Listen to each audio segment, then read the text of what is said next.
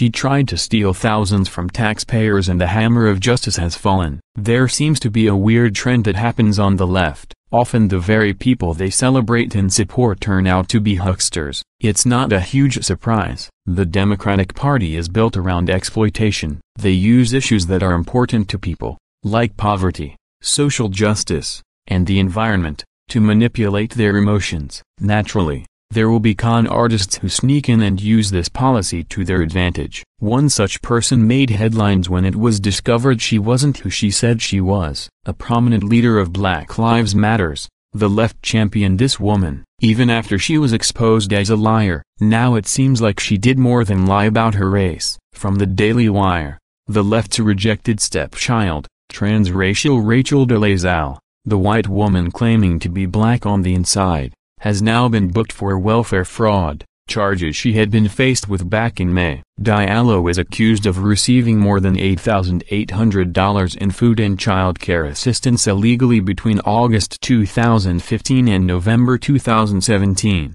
reports Fox News. Fox News continued. The welfare fraud case started in March 2017 after a state investigator received information that Diallo had written a book or autobiography, in full color, Apostrophe The investigator reviewed Diallo's records and found that she had been reporting her income as usually less than $500 per month, court documents said. However, a subpoena of her bank statements and other records showed Diallo had deposited nearly $84,000 into her account from 2015-17, without reporting most of it to the State Department of Social and Health Services. The case file states that the money came from Diallo's book sales speaking engagements, soap making, doll making and the sale of her art.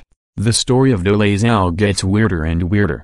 The white woman got in the hot seat for pretending to be black. After she was exposed, she claimed to be transracial, I think, even among leftists. That was going too far, yet she still used the situation to get famous, even selling products and a book. Yet through it all, she still collected welfare from the government. How is that even possible? If she was making money from book sales and other ventures, why would she even need welfare? Unless, she thought she could use that as some kind of proof that she's transracial? Not sure if I can even wrap my head around it. The bottom line is, we are seeing another liberal outed for wrongdoing. How often have we seen that over the years? Time and again the Democrats prove to be dishonest cheaters, yet they still claim to be morally superior than the rest of us. Kind of makes you sick, doesn't it?